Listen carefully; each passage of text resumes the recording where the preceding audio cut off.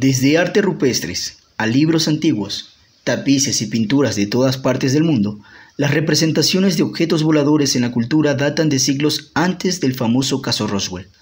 En las últimas semanas se realizaron muchos avistamientos de objetos voladores no identificados, ovnis, lo que no significa necesariamente que sean naves espaciales comandadas por seres inteligentes de otro planeta.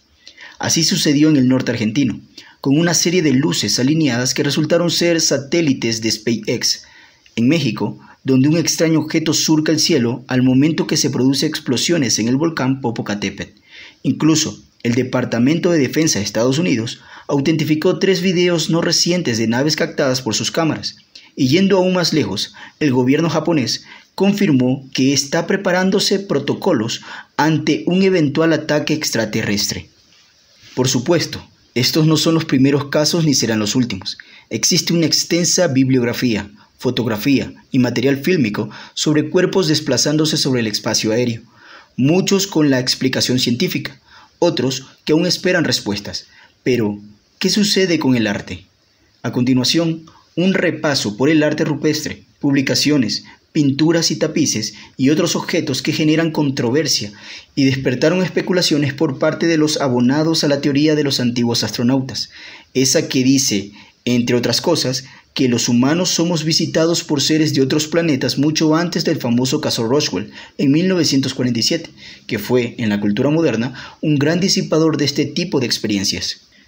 Las primeras manifestaciones artísticas de la humanidad se encuentran en cavernas y cuevas. Existen múltiples casos de pinturas rupestres en el mundo, realizadas hace miles de años, aunque algunas se destaquen por contener figuras que nada tienen que ver con hombres, mujeres o animales, sino con la representación de formas más cercanas a la ciencia ficción como la conocemos hoy. En algunos casos hay una explicación mitológica. La más famosa es la de los Wangdigna, los aborígenes australianos que son una sociedad cazadora de quienes existe evidencia desde hace 174.000 antes de la era común, situados en diferentes partes del país oceánico. Estos dibujos antropomórficos representan a los espíritus de la lluvia y las nubes y fueron los creadores de la vida en la tierra.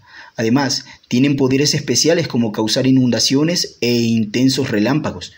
Otros casos de seres antropomórficos que despiertan interrogante fueron descubiertos recientemente en India, en la región tribal de Bakstar, Chakstinkar. Esto podría significar que los humanos en los tiempos remotos veían o imaginaban seres que provienen de otros planetas. Necesitamos una investigación detallada. Nuestro departamento no tiene expertos en esta esfera, declaró el arqueólogo local J.R. Baggat cuando presentó el descubrimiento al público en el 2014. Datadas con 10.000 años de antigüedad, entre las figuras que distinguen las formas que remiten al fenómeno ovni y extraños seres, las figuras de formas extrañas parecen portar objetos semejante a armas, no tienen rostros detallados y de hecho carecen de narices y de boca. En algunos dibujos se pueden apreciar las escanfandras, aseguró el arqueólogo. También en India, otro hallazgo generó polémica y aún esperaba respuestas oficiales. En el valle de Narmada, donde se encontró el cráneo humano más antiguo de este país, un grupo de investigadores, R.P. Pandey, Wissing y Khan y Kaiwi Shat, descubrieron en un refugio denominado Rajatole una pintura que parece expresar un extraño visitante, junto a una nave e incluso un agujero de gusano junto a una gran cantidad de pequeñas herramientas de piedra del periodo mesolítico, esparcidas por el piso. Entonces, desde el 2010, desde el Departamento de Arqueología Estatal aseguraron que no habían estudiado los hallazgos, pero que en la zona de Raisen abundaban las pinturas rupestres, por lo que no sería inmediato el análisis. Una década después, todavía no se realizan estudios sobre la veracidad ni el contenido del paraje. En Italia, por ejemplo, se encuentra el Valle de Val Camonica, protegido por la UNESCO, que posee alrededor de 200.000 de petroglifos, que van del Neolítico a la Edad de Hierro, por lo que es la colección más amplia del arte rupestre de toda Europa y el mundo. Entre ellas se encuentran algunas que han sido tomadas por los abonados a la teoría de los antiguos astronautas como expresiones de seres de otro planeta, por la forma del casco que se ven en sus cabezas, aunque para los arqueólogos solo son una expresión de un ritual. En el continente americano de Estados Unidos, Argentina, Cuevas de Mendoza y Rioja, también existen notables ejemplos de figuras que resultan desconcertantes, por solo nombrar algunos casos, en Utah, en Barrier, en Kion, dentro del Parque Nacional Kion Land, se hallan una serie de dibujos de piedra con características antropomórficas. En Bolivia se encuentra el misterioso fuerte de Samampata, en 1950, Patrimonio Mundial de la UNESCO desde 1998. Aparentemente constituido como un centro ceremonial entre el siglo XIV al siglo XVI, que aloja un petroglifo con una forma definida de ovni. La pieza fue difundida por el investigador Marco Hallem, miembro del grupo de los arqueólogos y astronautas y el SETI. Uno de los casos que despertó más interés por parte de los ufólogos en esta parte del mundo se realizó en Puebla, México. Allí, un grupo de buscadores de tesoros halló en el 2017 un grupo de piedras de jade tallada que no dejan mucho espacio para dobles interpretaciones. Se ve a mayas intercambiando ofrendas de seres de cabeza grande y alargada. Para muchos es la prueba que demuestra que este antiguo imperio norte y Centroamérica tuvo contacto con seres de otros planetas. Y a eso se le suma que es una zona en la que abundan leyendas sobre objetos que bajaban del cielo en tiempos remotos. Sin embargo, ningún espacio oficial de arqueología se pronunció aún sobre esta veracidad. El hallazgo y algunos hasta estipulan que fueron dejados allí a propósito para que algún grupo las encontrara. El primer libro que se conoce con algún tipo de figura discordante con su época es Prodigirium Liber del siglo IV, donde se lee en Aenariea, mientras que Livio Trossò promulgaba las leyes al comienzo de la guerra italiana, al amanecer llegó un ruido tremendo en el cielo y un globo de fuego apareció en llamas en el norte. En el territorio de Spoletum, un globo de fuego de color dorado cayó en la tierra girando, y a continuación parecían aumentar el tamaño y se levantó de la tierra y ascendió al cielo, donde se oscureció el sol y su brillo, y giró hacia el cuadrante este del cielo. Así describió Julio Obsequens el suceso ocurrido alrededor del año 91 antes de la era común. Obsequens fue un escritor romano que vivió durante el 4 DC y del que nada se sabe salvo que es el autor del libro Los prodigios. Una recopilación de textos provienen de la obra de Tito Livio.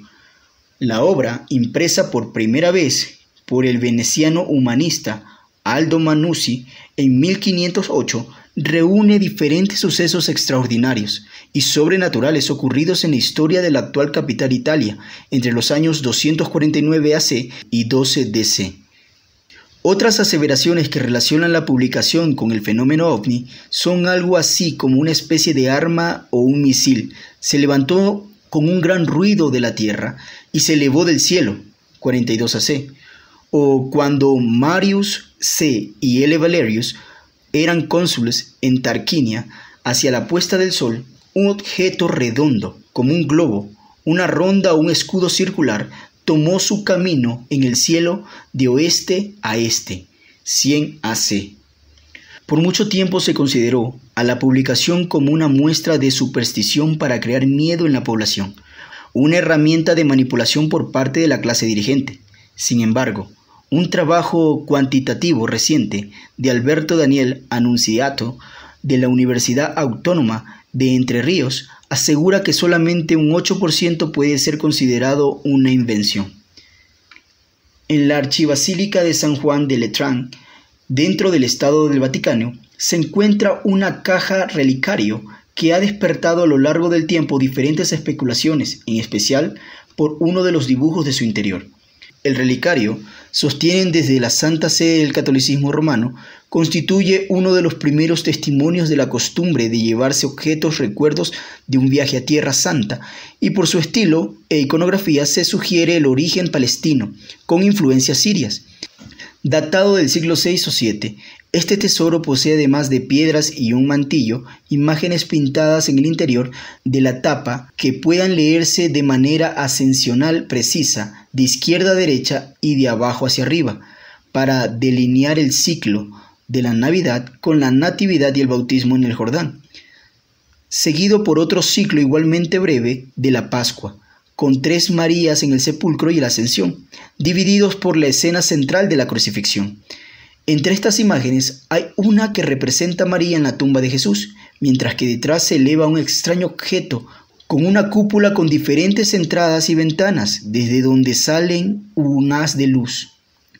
Bastante tiempo después, en el libro de las buenas costumbres del francés Jacques Larren, se retratan las virtudes cristianas, castidad, precaución, mansedumbre, justicia, moderación, obediencia, diligencia, humildad, entre otras. Una de las ilustraciones interiores del texto 1338, que se encuentra en el Museo del Conde de Chantilly, Francia, muestra una gran esfera flotando en el cielo, lo que para algunos puede ser una representación astronómica, una nave o sencillamente un orbe. Para aquellos tiempos también se realizó Annales Laurensens Majorens, un libro que data del siglo XII DC, pero cuenta historias desde el siglo VI. Allí se ilustra con una imagen en la que aparecen dos objetos con una estética de nave espacial moderna. Incluso aparecen moverse a partir de un sistema de combustión, aunque la lectura oficial de la ilustración dicta que serían cometas o meteoritos. Y el mismo día, mientras ellos, los zanjones, se presentaban para otro asalto contra los cristianos y vivían en el castillo, la gloria de Dios se manifestó encima de la iglesia de la fortaleza. Aquellos que estaban observando la plaza exterior, muchos de ellos siguen vivos hoy, dijeron que vieron algo que parecía dos grandes escudos llameantes de color rojizo que se movía alrededor de la iglesia explicaba la obra de los autores desconocidos que relatan a modo de memoria histórica los asuntos más importantes durante los reinados del Breve y Carlomagno y su hijo Luis I, el Piadoso. Es tan profundo el conocimiento sobre ciertos temas que se especula que fuese realizado por personas cercanas al rey. Además, en el texto, las derrotas francas apenas son desarrolladas, por lo que también se considera que tuvo fin propagandístico. Es la fuente más importante sobre la proeza bélica de Carlomagno y sus caminos, para convertirse en el rey de los francos, de los lombardos, emperador romano. De regreso con el orbe como objeto, debe decirse que era una representación bastante común en muchas obras sacras del momento y por venir. Una de las más controversiales es la Madonna de San Giovanni, pintada durante el Renacimiento, que hoy puede apreciarse en el Palazzo Vecchio, Florencia.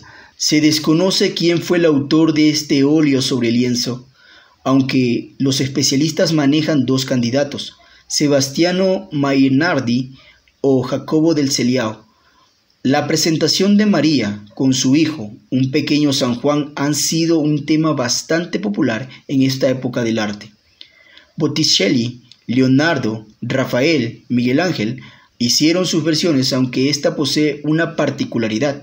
La derecha de la cabeza de María hay un extraño objeto volador en el fondo. El artista, además, no quiso que la figura pasase desapercibida, y para eso también pintó a una persona, un pastor posiblemente que observaba el artefacto con mucha atención junto a su mascota. Esta no es la única pintura de cortes religiosos donde algún extraño se posa en el firmamento. Otro ejemplo notable es la Anunciación con San Emignio en 1486 del artista italiano Carlo Crivelli, una obra catalogada dentro del primer romanticismo pero con características del gótico tardío.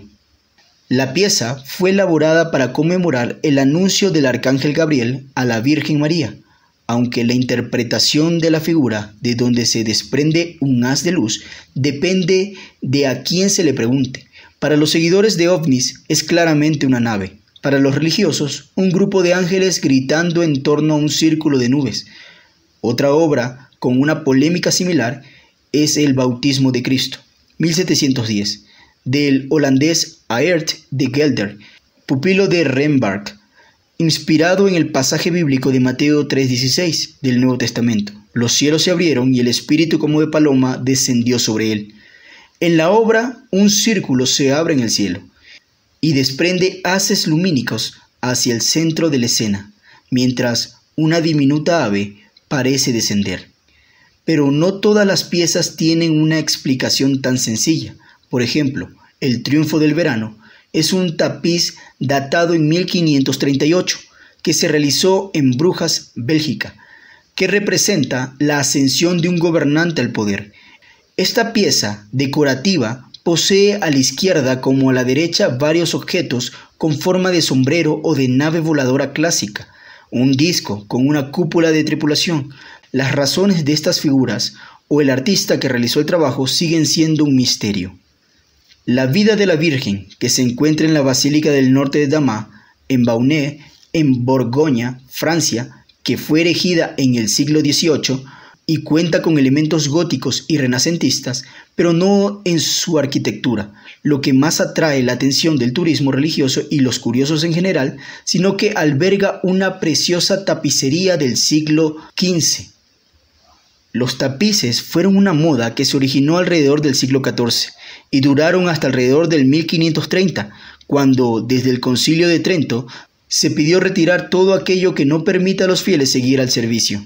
Delante de los mismos, que tenían como objeto contar alguna historia de la Biblia, de la Virgen y de Jesús en general, se solía ubicar en coros. En este tapiz aparecen figuras muy similares a lo que en el triunfo del verano. Pero estas no son las representaciones más antiguas de una figura con forma de platillo volador. En una pieza del siglo X del Pragnaparamita Sutra, los Sutras de la Perfección de la Sabiduría, una colección de alrededor 40 historias de origen indio, entre aproximadamente el 100 AC y 600 DC, también surgen, misteriosos, una serie de objetos con formas de naves. La glorificación de la Eucaristía 1600 del italiano Ventura Salim Beni aparece una vez más la figura del orbe ampliamente relacionado a lo sacro este retablo cobró notoriedad en la ufología porque el objeto que se encuentra entre Jesús y Dios posee una forma muy similar a un famoso Sputnik, un satélite ruso que comenzó la carrera espacial de Estados Unidos en 1957. El trabajo conocido como Sputnik de Montalcino fue realizado para las iglesias de San Lorenzo, de San Pedro, Montalcino, en la Toscana itálica. El orbe es una representación de la esfera mundi, esfera del universo, una obra medieval de Johannes Sokrobosco, quien alrededor del año 1230 introdujo los elementos básicos de la astronomía y que tuvo notable influencia en la cultura. El trabajo anterior de Copérnico fue esencial en el progreso de la ciencia en Europa, aunque es la religión quien se adueñó del concepto.